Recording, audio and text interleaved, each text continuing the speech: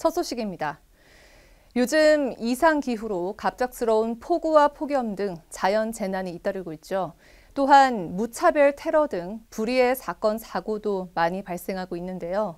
항상 안전을 위해 최선을 다하고 있는 마포구가 복합적인 재난 상황에 대응하기 위해 마포구 재난안전 상황실을 조성했습니다.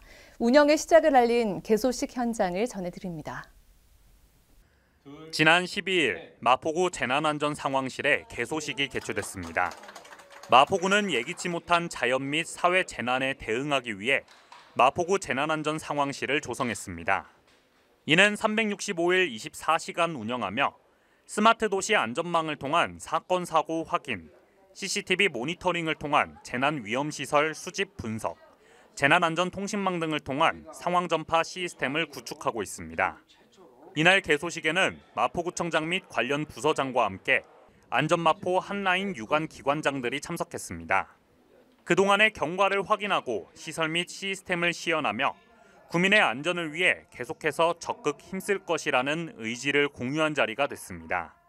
군은 마포구 재난안전 상황실을 통해 복합적인 재난 상황에 신속하게 대응하며 원팀으로서 유관 기관과의 체계적이고 긴밀한 공동 대응을 이어갈 것입니다.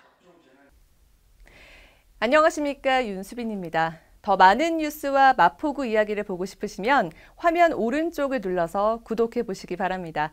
또 좋아요와 알림 설정을 하시면 다양한 소식도 받아보실 수 있습니다.